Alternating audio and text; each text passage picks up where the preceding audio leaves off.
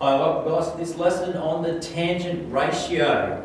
Okay, throughout, throughout this whole lesson we'll be doing the tan ratio and tan is equal to the opposite side of a right angle triangle over the adjacent side. And my number one rule when doing all these folks is whenever you get a sine, cos or tan subject sum in a right angle triangle is make sure you look at the angle first and have a look at what you're given and where you've got to head. So let's look at a couple of examples here really quickly.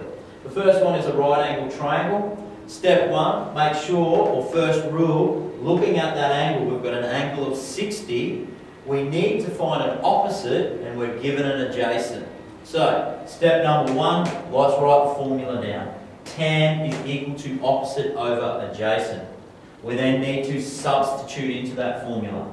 Tan of the angle 60 is equal to my unknown, which is the opposite, divided by my 25, which is the adjacent side. Now what I need to do is get that x by itself. So I'm going to rearrange my formula so that I get x by itself. And that's when this little triangle comes up handy. What we need to do is cover what we're looking for. So we're trying to find an opposite side. And the triangle tells us the rest. It tells us that it's tan multiplied by the adjacent. So therefore, the opposite side, or in this case our x, is equal to tan 60 multiplied by 25. You should be able to type that straight into your calculator and get the answer, which is step 3 answer, and you should come to 43.30. Alright, let's look at the next example, nice and simple. Again, the first rule always is have a look at the angle. We have an angle of 30 degrees in this right angle triangle. We're given the opposite side this time. So, and the unknown is on the adjacent. So start with the formula. Tan is equal to opposite over adjacent. Substitute in is our next step. Tan angle 30 is equal to 6, which is our opposite side, divided by our unknown, which is the adjacent. Again, we're going to rearrange so that we get our unknown by itself. This time we're trying to find an adjacent side. So if I cover that, it tells me that it's the opposite side divided by tan of the angle. Okay, so what I do is 6 divided by tan 30. Alright, putting that in my calculator again as it reads, and my answer comes out as 10.39.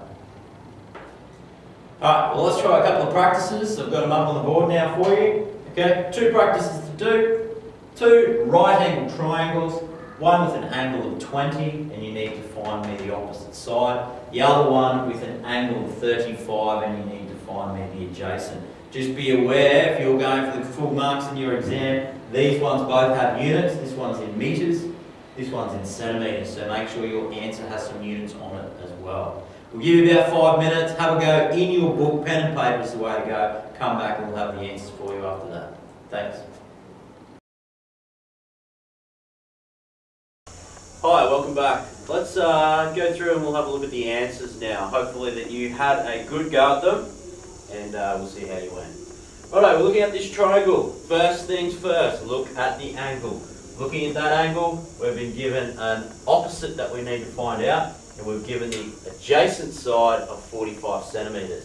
So, we're looking at a tan sum. First step, write the formula in. Tan of 20 equal to opposite over adjacent. Alright? Step two, substitute into that formula. The opposite is x, our unknown, and the adjacent is 45. Okay? The next step is we want to get x by itself. So we want to do our rearranging.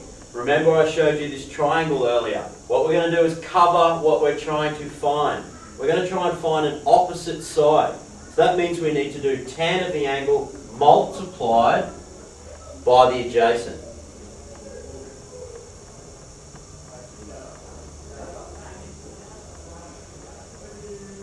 Alright, so tan 20 multiplied by 45 will give us our answer. Oh, which will give us our answer of 16.38. Now that is in centimetres. Alright, now I've got 3 8, I've rounded up to get 3, 8, alright? If you happen to write 3, 7 there, I'm sure your teacher will think that's okay. Let's look at the second one, see how you went. Alright, same triangle, first step, let's look at that angle, 35 degrees, we're given an opposite and an adjacent. Step 1, formula. Tan 35 is equal to opposite over adjacent. Step 2, substitute in. This time our opposite is 22 and our adjacent is the unknown.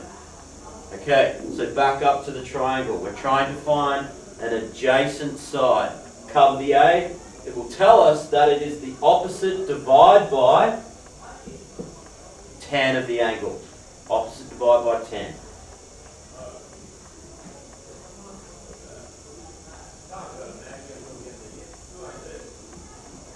Which will give us step three